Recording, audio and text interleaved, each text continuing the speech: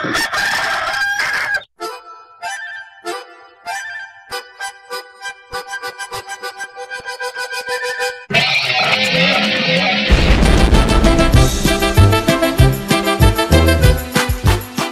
right. Our next performer really is is one of was he was one of my heroes. Really, I I, I could not believe somebody could struggle that hard and overcome such a severe case of dyslexia um, until I realized that's actually how his last name was spelled. Uh, the, the H on the front of his last name is silent, much as we would wish he would be if you've ever heard him speak in public. Seriously, our next performer is like a young Norm MacDonald if Norm MacDonald had a severe case of Asperger's syndrome and was hit in the head with a chunk of concrete. Give it up for Mr. Adam Hrabik.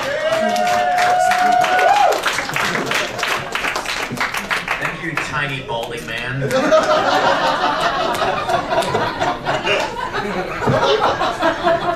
I hope one of the drugs they're testing on you is chemo.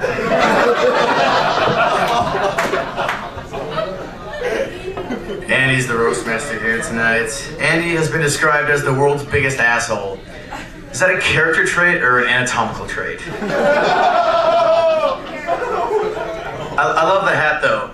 My question is, does Arnold Palmer even realize something is missing from his house? glad, to see, glad to see Mike Norwood here. Uh, I was worried because I heard a couple months ago they found your corpse in a forest in Georgia. Mike, okay, I gotta be honest. You are one ugly motherfucker. Your baby pictures are on Rotten.com.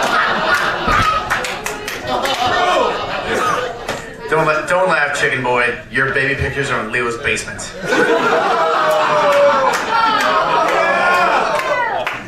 I, I, no, I, I, like- I, I, liked, I liked your jokes tonight, Leo. I hope you didn't spend too much time writing them. But I, I, I guess that depends on whether the website you stole them off of had too much porn on it. I didn't know Maxim.com had an unfunny 50 year old section. Oh, oh, oh. Leo! You come in here and you surround yourself with people 30 years younger than you. You're like the Hugh Hefner of sad.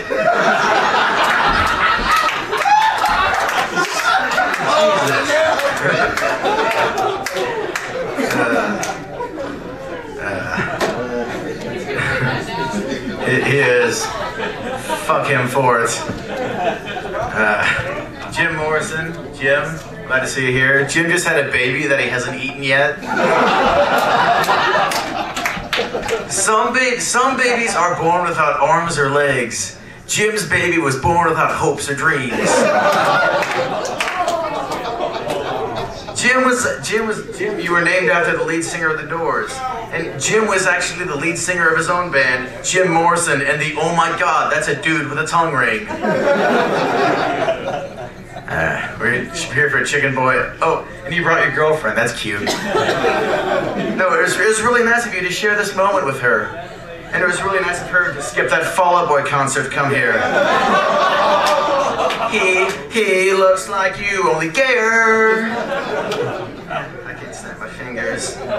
Do you have any skin pigment? And you're skinny as hell. You look like Freddie Mercury circa 1992. Your, your mom knows you're gonna be home late tonight, right? We're here to roast chicken boy.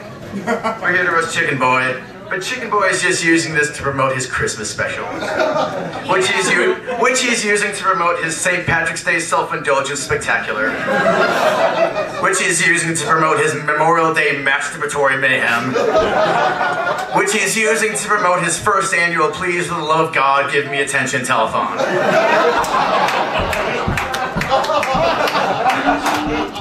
Sorry, I, I said Christmas special. I meant holiday special. I forgot you work at Walmart. when I first saw you do stand-up comedy, I thought it's really nice that they let a retarded person do stand-up comedy. Now that now I've seen you for a while, I realize they really shouldn't let a retarded person do stand-up comedy. If you cut Chicken Boy's head off, he'll still run around Omaha telling unfunny jokes for up to an hour. Up to an hour.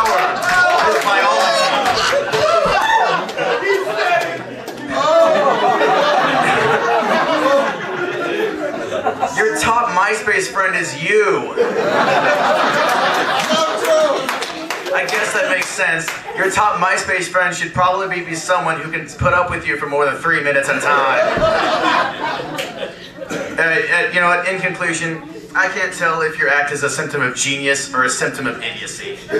I'm gonna go with option three, a medical condition. You have five years to live. Because if you're still more successful than me in five years, I'm gonna fucking kill you.